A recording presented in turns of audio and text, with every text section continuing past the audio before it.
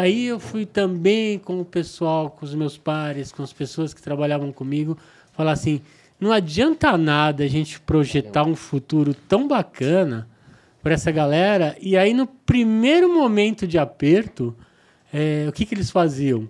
Como eles não tinham uma reserva de emergência, a gente viu quão importante foi ter uma reserva de emergência aí no, no na época de pandemia. O que, que eles faziam? Eles sacavam dinheiro que era para o futuro.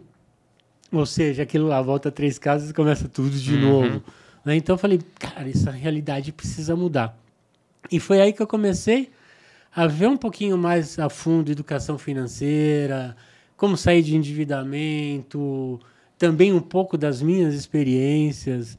Né? Então tem um fato engraçado que eu vou te falar. Por que que o, quando que o Durão nasceu de verdade? Né? Qual que foi a maior dor?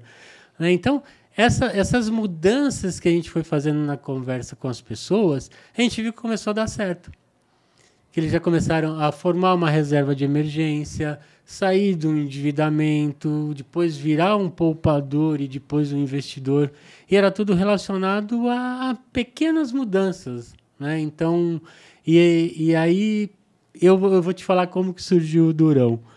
No dia do meu aniversário, eu tinha um, um, um, financiamento de um carro que não era nem meu, do meu filho, mas estava no meu nome e tudo mais.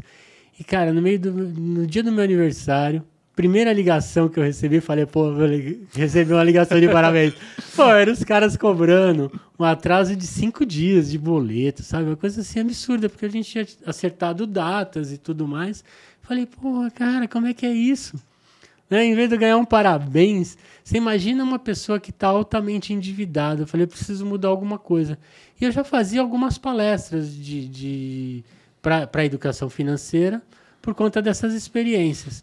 Só que aquilo, hoje, o pessoal fala de investimento, fala de criptomoedas, né? fala de taxa Selic, essas coisas todas. Só que educação financeira nessa época não era o ou, não era pop, não tinha famosinho. Hoje você tem grandes influencers aí nessa área e eles têm o valor deles, né?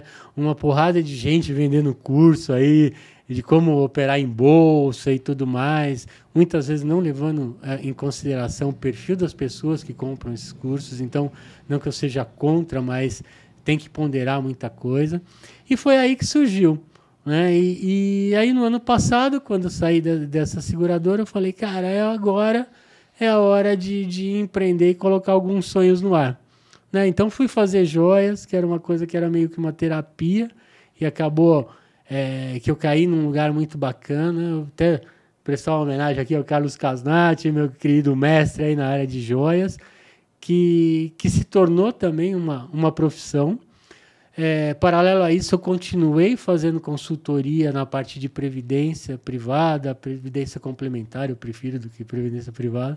É, voltada principalmente para treinar e acompanhar corretores. Então, fazia esse tipo de consultoria.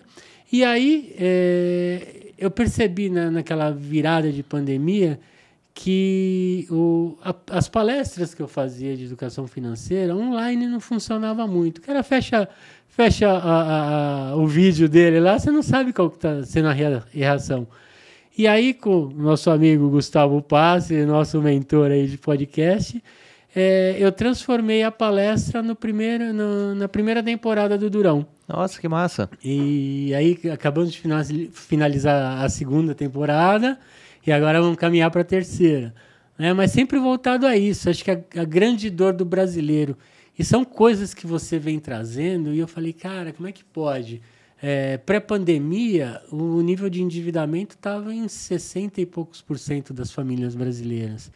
Na, na última pesquisa já estava em 77,5% das famílias brasileiras estão endividadas. Uhum. 87% disso é com cartão de crédito. Falei, cara, isso daí não, não vou conseguir acabar, mas eu eu acho que é a minha forma de dar uma contribuição para mudar um pouco a realidade do brasileiro. Né? Então, acho que isso é importante. É isso aí que é o Durão.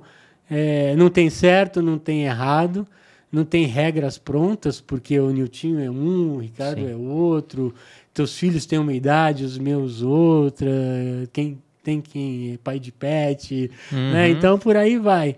E então lá eu não tenho essa regra. Não tem certo ou errado. Legal. Tem a vontade de, de sair dessa zona de desconforto de endividamento, né? E, e, e ter uma liberdade financeira.